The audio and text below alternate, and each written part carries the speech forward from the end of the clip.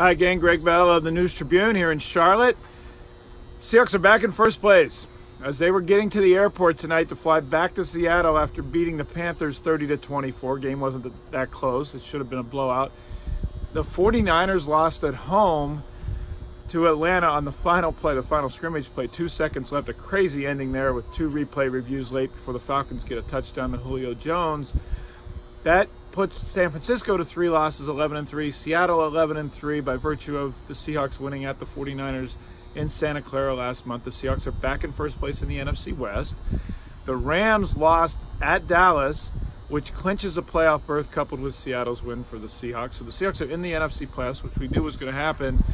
But now it is all right there again for Seattle to be home for at least the first round of the playoffs and potentially the conference's first seed as well. They would get a home first round playoff bye, a home playoff game. All of that now in the cards, and the 49ers have come back to them again in the division for the second time in three weeks. Of course, the 49ers and Seahawks played December 29th, the last regular season game of the year. The Seahawks need to still win two more games or lose this Arizona 4-9 and 1 Cardinals next week and then still would need to beat the 49ers to win the division.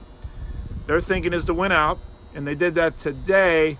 Should have buried the Panthers. I was really struck how early in the game, how checked out Carolina was, especially on defense. They looked indifferent. They were slow, not getting to the ball, not pursuing, not tackling, not covering balls in the air. D- DK Metcalf's touchdown, he just wanted the ball more than the cornerback Donte Jackson. Chris Carson's two touchdown runs, he just wanted the goal line more than the Carolina defenders' all effort runs, although he does that against every defense, especially a 5 and 9 team that lost its sixth straight game today.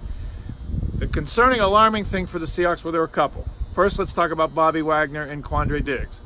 Wagner, the all pro, indispensable middle linebacker for Seattle, sprained his ankle, but he said he's okay. Gave me a thumbs up in the locker room after the game. Then he said in his press conference he's going to be fine. KJ Wright, his best friend on the team, said that Wagner told him it's not that big a deal. I asked him, was it pre- precautionary that you sat out the final two Carolina drives? Could you have gone back in? And he said, well, I was listening to the doctors, and they had me my best interest. Quandre Diggs, though, Pete Carroll was much less positive talking about Quandre Diggs's sprained ankle. He's been huge for them at free safety. We've talked about how he's reformed the Seahawks secondary, how they are covering much more single high safety that they like to do and bring Bradley McDougald closer to the box to be a run stopper at strong safety.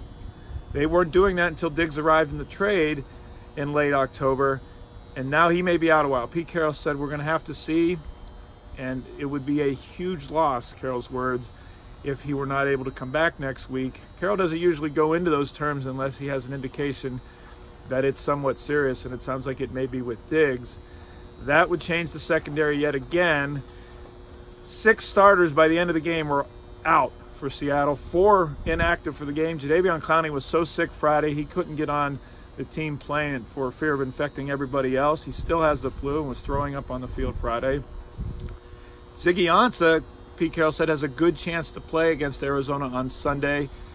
He has a neck nerve issue and was inactive for the game. Mychal Kendricks, the outside linebacker, couldn't play because of strained hamstring. Carroll said he, Kendricks, has a good chance to play against Arizona as well. Cody Barton made his second start. I mean, here was the Seahawks defense for the last two drives. It was 30 to 10 with seven minutes left. And then it was Cody Barton, Ben Burr-Kirven, Shaquem Griffin had to go back to linebacker after being a rush in for the last month. Akeem King, Ugo Amadi. Rookies go, it was like an August preseason game rather than a playoff push here in Christmas time. Carolina got two touchdowns during garbage time against that makeshift defense, and Wagner stood on the sidelines with his helmet on his hand on his hips, not able to affect the game. The Seahawks had it made it a lot tougher than they needed to. Then Russell Wilson makes one of his improv plays on the last drive on third and long. Tyler Lockett reading his mind, making the catch, clinching first down. Chris Carson's finishing runs. 133 yards for Chris Carson, a career high with two touchdowns. He got the running game back. Interesting in the running game today. CJ Prosise, we talked all week about him being the new number two with Rashaad Penny on injured reserve. Well, you saw Prosise fall over both of his feet, fumble the ball, and deep in inside the Seahawks own 20 yard line in the first half when they were trying to run out the clock and punt. Almost put Carolina back in the game. It was a 27 game at that point. Only the official review, replay review, saved the Seahawks on that one, ruling that Bruce Irvin, the former Seahawk, had clipped maybe the spike of one of the cleats of Prosise as he fell over his feet. Certainly wasn't the contact that brought him to the ground, but by rule, down by contact. So the Seahawks retained possession, punted, ended up getting an interception by Bobby Wagner on a brilliant all-pro play, peeling back on a wide receiver well down the field that Kyle Allen didn't expect. Allen, the fill-in quarterback for Cam Newton, who's on injured reserve, three interceptions, three more interceptions forced by the Seahawks defense after a week of not getting any. And yet the Seahawks offense disappeared for two quarters, getting only three points off those three interceptions. That was the concerning part of this game. But again, Kyle Allen and a team that's lost six in a row and was obviously packed in for the end of the season before this game even started wasn't enough to doom the Seahawks to win this. But concerning for the offense's inconsistencies getting toward the playoffs. It's a place the Seahawks can now talk about.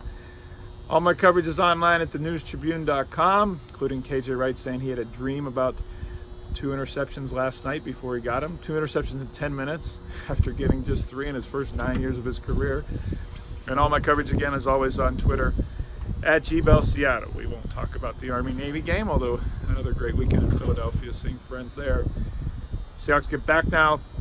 The big story will be Quandre Diggs and his health situation for this week. Bobby Wagner sounds like he may be good to go. Thanks for watching, and we'll talk on Tuesday.